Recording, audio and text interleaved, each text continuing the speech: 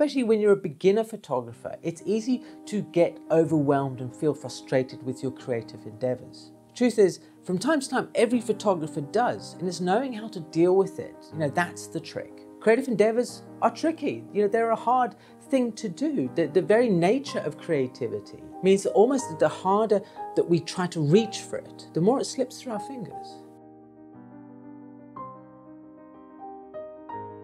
How's it, how's it? If you're new to the channel, my name is Alex, and this is where I get to share my experiences as a professional photographer to help people like yourself on their journey through photography. And it's a journey I certainly hope you're going to stick with after you finish watching this video.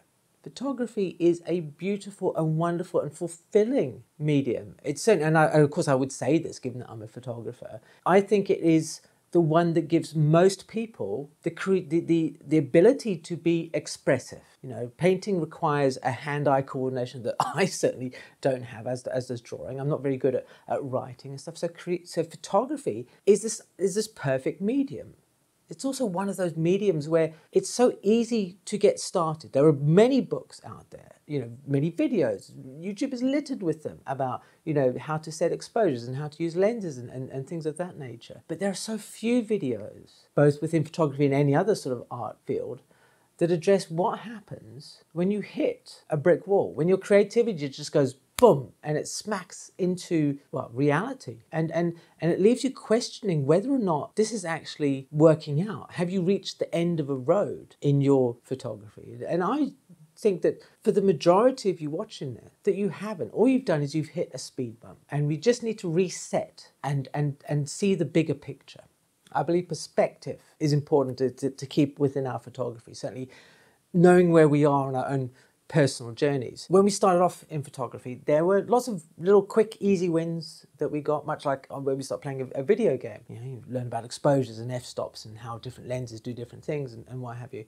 And you go, and you get, you get through all this sort of stuff. And you, you get to points where, why isn't my photography eh, improving at the same rate as it did a month ago, a year ago, what have you?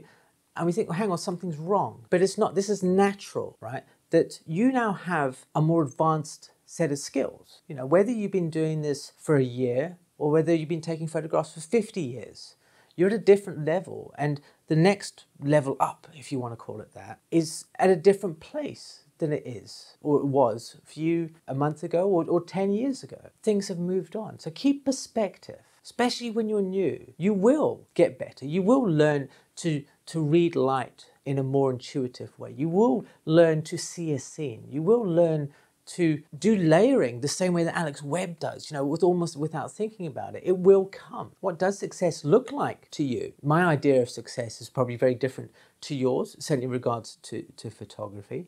And if you were to be successful, does that mean you can then just stop taking photographs? Of course, it's not. No, that it's not. That's a ridiculous concept. You're not going to just stop taking photographs because now you've you've won photography. It doesn't work like that. This is a creative expression, and sometimes it's difficult. Sometimes it's it just it flows. It just comes and it goes, and it's be- and it's wonderful. I've always felt that creativity is very delicate, and certainly inspiration is an extremely delicate, fine thing. And if we if we try and grab it too hard, it just slips through our fingers. And and this is what I believe is happening when we hit that roadblock. Is that we try to grasp too hard for it. We try to find reach out for this this elusive thing that we believe is just right in front of us. And the more that we reach for it, the more it's just slightly further away. It's always a little bit further away, and we can't really get get hold of it. I think the greatest danger, especially with those projects like the 365 projects and what have you, is that they are forcing you to connect with something. Take a picture every single day and you'll become better because you're doing it every single day.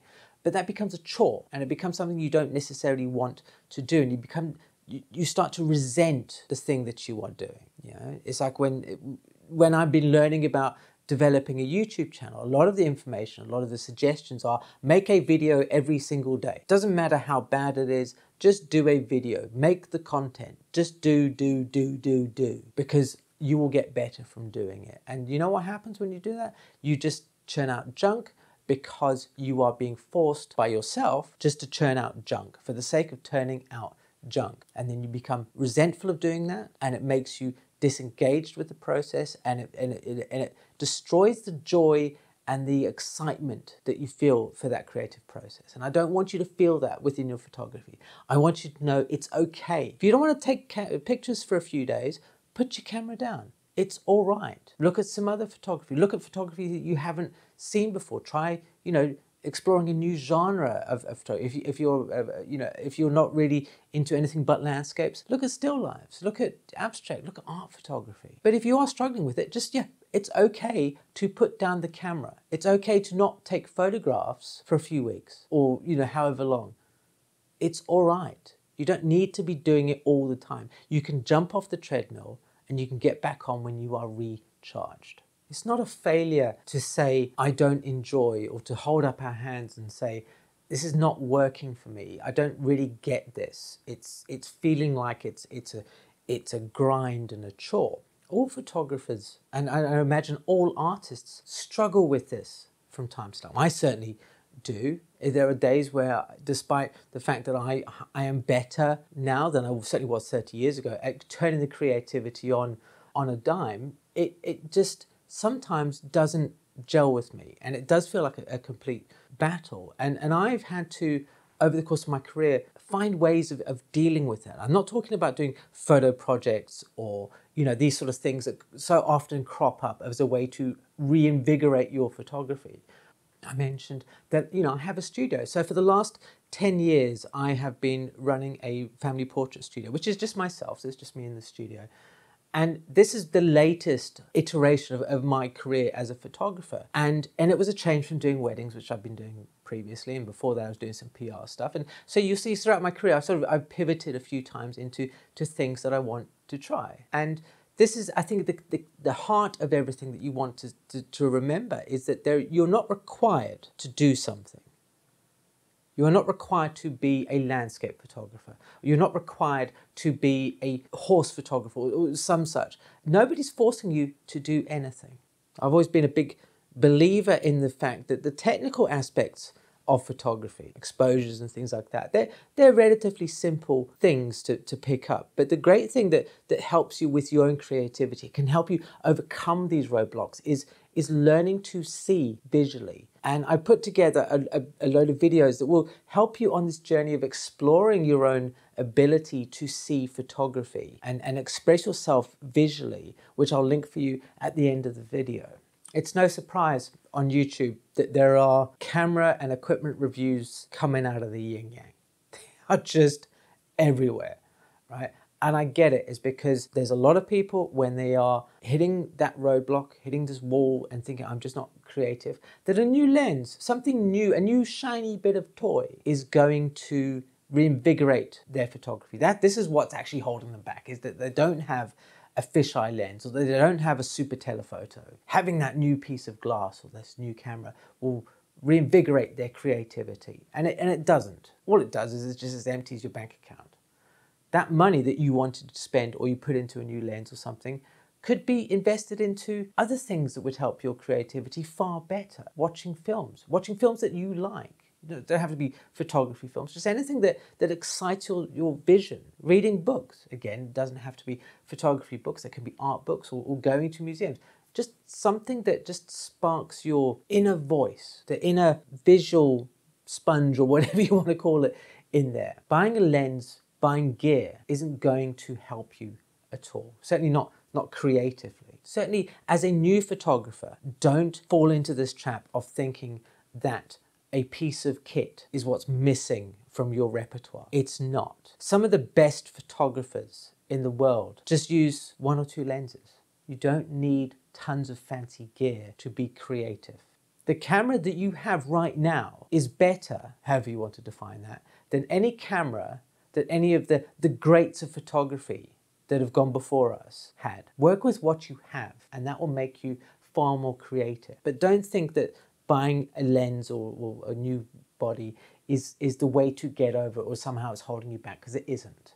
All of us have had negative comments directed at our photography. I've had, I'm going to hold up my hand, I've had a lot of negative comments directed at me because of my photography, especially when I was younger. And when you're younger, when you're new to something, these can, these can affect you quite deeply. And, and if I think about it, if I close my eyes and I think about it, I can still remember quite clearly hearing some extremely negative comments about my photography when I was in my early 20s. And these are from people who'd paid me money to take some photos. And and they stuck with me for a long time. And for a long time they held me back. And I know it's not easy to just to brush off the negative comments and, and to forget about them. But don't let them be the cause of you quitting photography. Don't let them be the reason that you give up on something that you enjoy doing. If somebody doesn't like your photography, and I've said this before, tough, right? It's not for them, it's for you.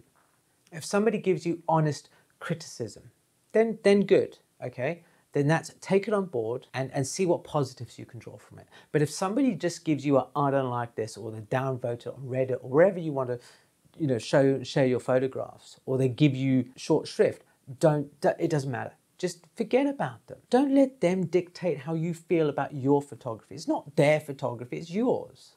I get very angry when people say stupid comments about photography and, and they force people to stop doing something that they love doing because somehow it doesn't chime with that negative person's worldview. I don't care, right? If there are 99 people out of 100 who give you bad feedback, who said, this sucks. So what? Doing it for yourself, going back all the way to those vanity metrics and stuff, nobody, it doesn't matter, right? You do whatever is good for you, and you'll get over those speed bumps. Trust me, right? You will become better. You will get to where you want to go, the next step in your journey. What would happen if we let everybody who told us something negative to be the cause of us giving up on something?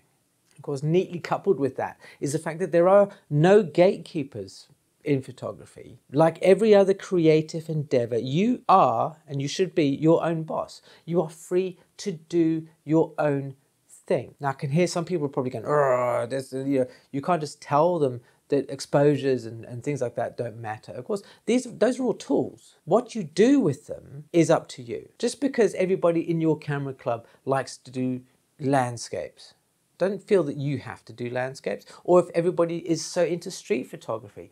I, I really, I'm not fussed about street photography. So if I were to go along with a bunch of people on a street photography jaunt, if you want to call it that, I would probably just photograph the things that interest me, which are actually ceilings and, and, and architectural features. Don't let people dictate to you what you should be doing. This is a creative journey that you're on.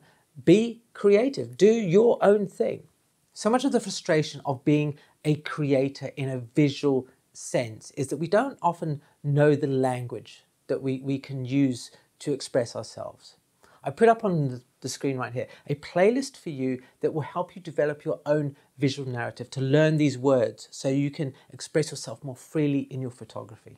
Thanks ever so much for joining me here today. It's been a pleasure to be here with you.